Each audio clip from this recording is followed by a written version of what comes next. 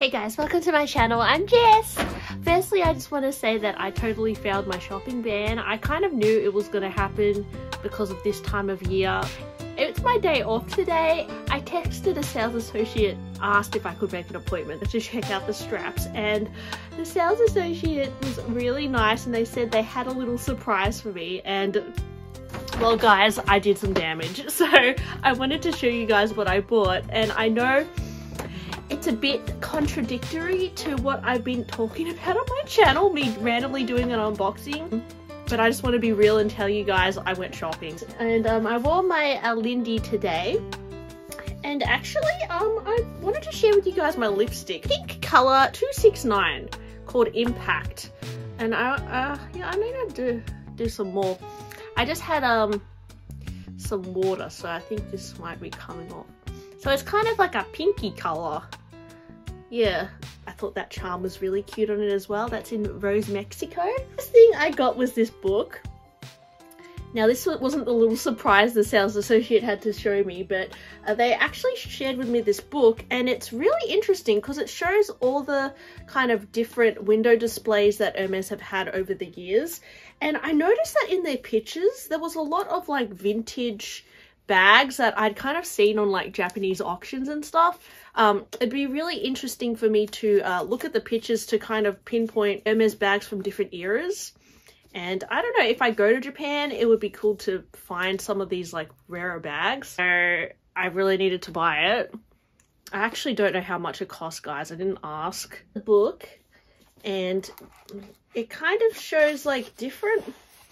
It's just a lot of um I just thought it would be really interesting to read. Like 2004 as well. Look, there's some like little metallic bags down here. I just thought it was very interesting to find out about these really limited edition pieces. Like even that Kelly, can you see that one, guys? Like, I don't you find this so fascinating? I asked um the sales associate if they thought these bags existed or if they're just imaginary, but I think they perhaps were created um, maybe they were just very rare pieces. It's very fascinating to look at. Anyways, I'm looking forward to reading this book. That's the first thing I got. And uh, this thing was the surprise. So, yes, it's not a bag. I didn't get a bag, so that was lucky because... Hmm, my boyfriend would be a bit, you know, Jess, uh, what's going on here if I got a bag? But, you know, um, I wouldn't mind getting an Hermes bag from the boutique if they had to offer one to me, but, you know, I gotta be responsible as well, so, uh, oh my gosh, guys, this is so adorable. Okay, I'm gonna be honest. Some of you will love this, some of the you will absolutely hate this. I personally love it Okay. Okay, guys.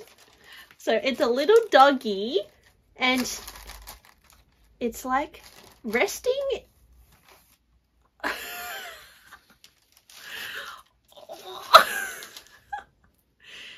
it's so fluffy. It's so cute. So this is the buddy charm. I asked, uh, every time I go to Hermes, I always ask if they have a buddy charm because I'm obsessed with these charms and they're just never available in Australia. I think in Europe they're easier to get, but um, yeah, this is the thing the sales associate surprised me with. And as soon as I saw this color, I literally died, guys. Like, I don't know, this is so adorable. This color, it's like my first, like, oh, it's just, I don't know what the color is. I think, to be honest, is it Mauve Fizz? Because that's a new Hermes colour. It doesn't say. I might have to check the receipt. But it's like this beautiful pastel lilac. I'm just... It's so gorgeous. And then the actual string looks like maybe Rouge Sellier. And it's fluffy. So, oh, it's just like my favourite. I feel like this is the cutest charm ever. It does look like a little bit like cotton wool, but it's so fluffy. I think it's made out of shearling. I'm going to try this on my Birkin, guys. so cute. okay, this is adorable. Uh, I don't have regrets. This is why I'm addicted to shopping, guys, because I buy stupid things like this. Now, a lot of you will think this is a total waste of money, and it is over it is overpriced. But these little bag charms that I buy, guys, they're totally collectibles. So, you know, there's that. I think anything that's a collectible, it still has value. It's not money thrown away. And it's just that I get to enjoy, you know, a little thing instead of having the the cash, you know. I can just look at this and be like, oh, look at it. Oh, it's so cute.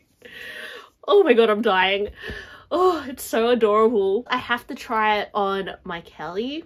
I think this would even look adorable on my Picotin. I did ask the sales associate if they can help me get a garden party and they said maybe it might take a while but maybe so I even think this would look adorable on a garden party. I really want a garden party 30 but I'm gonna try it on a Kelly bag as well. These bag charms, they, they honestly drive me crazy. I'm addicted to bag charms. It's so fluffy. Okay, let's try it. oh, I really like this too. okay, I really like it on the Kelly as well. It really goes well with like a white twilly. Lucky I was wearing the right twillies on my bags, but... It does look a little bit like this like cotton bud stuck to my bag, but oh my god, that is so adorable. and it kind of, I don't know, it's the same kind of fluffiness as Hello Kitty, to be honest. Oh. I'm so happy I got this color. This is just to die for. Yes, that's what my sales associate surprised me with, but they did actually surprise me with one more charm, guys. So yes, double unboxings. Oh, and they, they gave me all these perfume samples. Oh, yes. Oh, so many. Oh my gosh, cool. I got a lot of perfume. So they know I love bag charms, guys, so I also got offered this and I couldn't resist it because I was obsessed as soon as I saw it. To be honest, they could offer me any bag charm, I'd probably just take it because I just think that I can't resist. oh, it's so cute. Okay, so this is a single coloured Rodeo PM in blue France. And I love this because it's a single color and I just feel like these are very versatile and it really pops on your bag. Now, I actually, I actually don't know what bag this is going to suit on in my collection, but I'm just thinking as a bag charm, this is gorgeous. And even if like in the future I get another bag, this could potentially go on it. I know it's a bit of a silly way to shop, but I just, I just loved this color. I have this uh, rose Mexico color and now I've got the blue France color. It could even look cute like doubled on this bag or you could wear it like this side. That's quite a nice look as well, like a nice little contrast combo. Like if I just put it here, just hanging like a little horsey. Or it could go really well on even my mini Evelyne, just as a little accessory. I already have a purple one on here. This is in Anemone but maybe I could put another one. I don't know, guys. I honestly just loved this, like, single coloured. I'm really into the single colour ones. I just think they're very effective. And if I got, like, a blue Birkin in the future, I mean, this would be the perfect charm, right? So, mm, I love it. It's so beautiful. It's just, oh, I'm going to save this one for a, a, special bag in the future, but, you know, I'm glad I bought it. I think it's really beautiful in this single colour.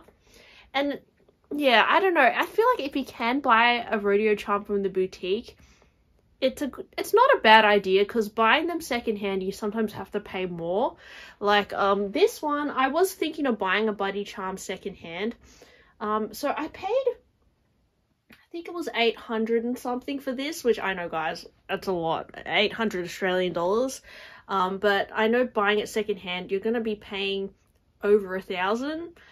Um, so I was gonna buy one for like 1050 I found like a red one but this color on the pre-love market is a lot more than a thousand so it was good that I got it from the boutique and even the single colored ones sometimes go for over retail. So if you can get them from the boutique, it's not a bad idea if you're into that sort of thing. I know not everyone's into the rodeo charms, but I foresee myself in the future buying more bags in my lifetime. So I don't think this will go to waste because it's just so adorable and I feel like I cannot not buy it. And also, I was feeling so itchy today to shop that I just couldn't say no to this rodeo so I bought it. But yes, it actually looks it actually looks really cute on this as well. Like these colors together. Because I think I have too many on here right now. Um, but you know, you can you can change up the different colors. I think that looks really nice together. That combination. Mix it up. I've already got a Pegasus on there, but I, I think that looks quite nice. I just love getting creative with the colors. So yes, that's that.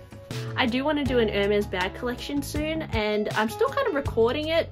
I want to like go into depth about every bag and like the, the color, the year and um, all that sort of thing. So I'm going to start writing notes for my collection video uh, maybe today. But anyways, hope you enjoyed watching this little unboxing and I'll talk to you on my next one. Bye!